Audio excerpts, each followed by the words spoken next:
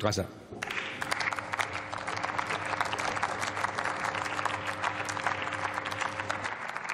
Sehr geehrter Herr Präsident, liebe Kolleginnen und Kollegen! Seit vergangenem Samstag erreichen uns unfassbare Bilder aus Israel.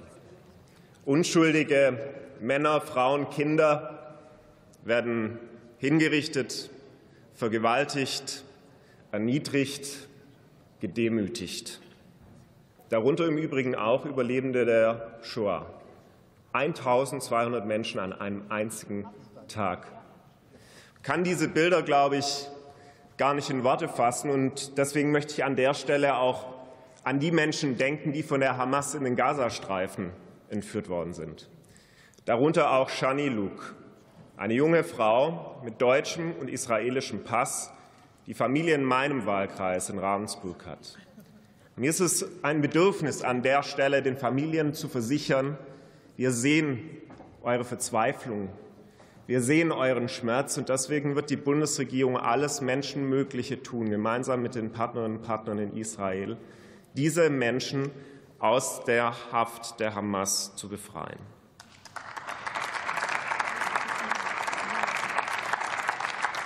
Die Hamas trägt alleinige Verantwortung, und es darf keinen Zweifel geben, auf welcher Seite unser Land steht, an der Seite von Israel. Nicht nur, weil wir eine besondere Verantwortung für dieses Land haben aufgrund unserer eigenen Geschichte, nicht nur, weil Israel ein Wertepartner ist und die einzige parlamentarische Demokratie im Nahen Osten, sondern weil Israel das einzige Land auf der Welt ist, wo Jüdinnen und Juden sicher gehen können, dass sie geschützt werden dass sie offen und frei ihre jüdische Identität leben können. Und dieser sichere Zufluchtsort, er ist massiv bedroht worden durch die Hamas. Deswegen lohnt es sich an der Stelle auch einmal selbstkritisch eine Analyse zu ziehen, wie es eigentlich um den sicheren Ort hier in Deutschland bestellt ist. Und die bittere Wahrheit ist, dass Jüdinnen und Juden in Deutschland nicht zu jeder Tageszeit und nicht immer geschützt sind. Deutschland ist kein sicherer Ort für jüdisches Leben. Angst ist ein Alltagsbegleiter für Jüdinnen und Juden in Deutschland seit vielen Jahren im Übrigen. Menschen, die sich nicht trauen, eine Kippa zu tragen, Menschen, die sich nicht trauen, offen einen Davidstern zu zeigen. Aber das, was wir jetzt erleben, seit den letzten Tagen, das sprengt jede Dimension von Antisemitismus in Deutschland. Neukölln werden verbotene Versammlungen abgehalten, Süßigkeiten verteilt, um diese Gräueltaten der Hamas zu feiern, antisemitische Parolen gerufen wie Intifada bis zum Sieg. In Neukölln wurde ein Paar mit Feuerwerkskörpern beschossen, weil es Hebräisch gesprochen hat. Vielen Orten in Deutschland wurden Flaggen von Rathäusern, israelische Flaggen, heruntergerissen vernichtet, gar verbrannt. Auf Überreste der Berliner Mauer wurden Hakenkreuze geschmiert, sowie der Satz Kill Juden. In Berlin wurden Wohnungen jüdischer Mitbürgerinnen und Mitbürger mit Davidstern markiert, um sie zum Ziel von Antisemitismus zu machen. Und heute Nacht wurde in der Straße, in der ich lebe, hier in Berlin in der Brunnenstraße, die Synagoge mit Molotow-Cocktails beworfen. Und deswegen liebe Kolleginnen und Kollegen, muss man das mal so deutlich sagen. Es reicht. Es reicht. Trotz offenkundig vieler Bemühungen aller demokratischen Parteien in den letzten äh, Jahren, trotz vieler Maßnahmen, ist es uns nicht gelungen, den Antisemitismus in Deutschland wirksam in die Schranken zu weisen. deswegen ist für die Bundesregierung klar, wir wollen noch entschlossener handeln als in der Vergangenheit. Aber um das zu tun, muss man schon auch die Fehler der Vergangenheit. Frau von Storch, ich würde Ihnen empfehlen, dass Sie am ruhigsten sind. Ihre Fraktion, die von Schuldkult spricht, die antisemitische Verschwörungstheorien hier an dieses Pult trägt, die soll in dieser Debatte ganz still sein, Frau von Storch.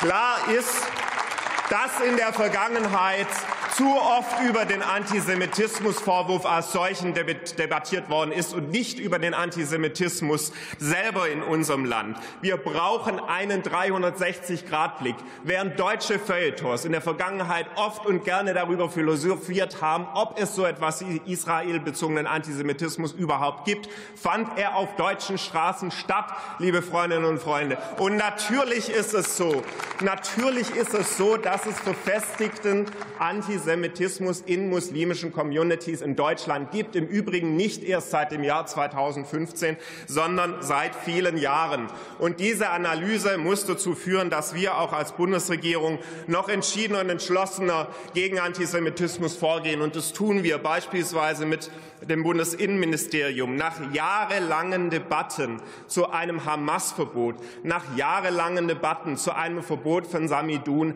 handelt diese Regierung und hat diese Organisationen verboten, liebe Kolleginnen und Kollegen. Wir gehen schon vor diesen Ausfällen jetzt an Staatsangehörigkeitsrecht ran und stellen auch rechtlich noch mal ganz klar, wer Antisemit ist, wird zukünftig nicht Deutscher werden können. Wir begrüßen es als Bundesregierung, dass auch die Länder entschlossener gegen verbotene Versammlungen vorgehen. Wir begrüßen es, dass die Länder den Schutz jüdischer Einrichtungen in den letzten Tagen erhöht haben. Aber lassen Sie mich zum Schluss auch noch mal sagen, der Instrumentenkasten des Strafrechts er ist gefüllt. Wer Molotow-Cocktails auf Synagogen wirft, macht sich strafbar. Wer jüdische Menschen angreift, weil sie jüdisch sind, macht sich strafbar. Wer offen die Hamas befeiert für ihre Taten in Israel, der macht sich in Deutschland strafbar. Und deswegen ist jetzt wenige Frage nach einer Reform des Strafgesetzbuches, sondern mehr die Frage, wie es tatsächlich auch zu Anklagen kommt, wenn wir feststellen, dass viele Jüdinnen und Juden in Deutschland Straftaten gar nicht mehr anzeigen, weil sie im Sande verlaufen. Und deswegen hat der Bundesjustizminister sehr frühzeitig jetzt auch das Gespräch mit den Länderkolleginnen und Kollegen aufgenommen, dass ganz klar ist, es kann nicht aus Opportunitätsgründen solche Straftaten eingestellt werden, sondern was beweisbar ist, was nachweisbar ist an antisemitischen Straftaten, muss auch konsequent angeklagt werden.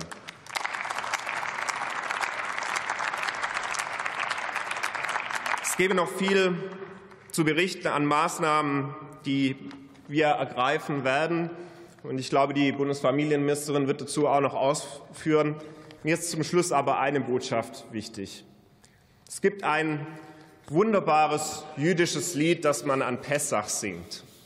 Vehische Amda. Und in diesem Lied Vehische Amda geht es darum, dass Jüdinnen und Juden über alle Jahrhunderte unserer Menschheitsgeschichte verfolgt werden. Dass es in allen Jahrhunderten unserer Menschheitsgeschichte Gruppen gab, die versucht haben, jüdisches Leben zu vernichten. Und selbst in größter Zeit der Bedrohung und Bedrängnis hat Gott seine schützende Hand über Jüdinnen und Juden gehalten. Und auch jetzt werden Jüdinnen und Juden weltweit und hier in Deutschland dieser Bedrohung trotzen. Aber es soll klar sein, dass sie nicht alleine sind. Wir stellen uns als nichtjüdische Mehrheitsgesellschaft an ihre Seite. Wir wollen, dass jüdisches Leben in Deutschland wieder möglich wird, dass jüdisches Leben sichtbarer wird. Und deswegen gilt, dass wir mit neuer Entschlossenheit diese großen Herausforderungen, die vor uns liegen, angehen. Und da bitte ich Sie auch als Parlament um Ihre Unterstützung.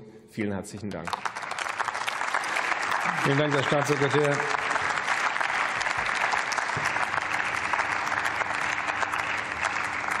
Nächste Rednerin ist die Kollegin Petra Pau, Fraktion Die Linke.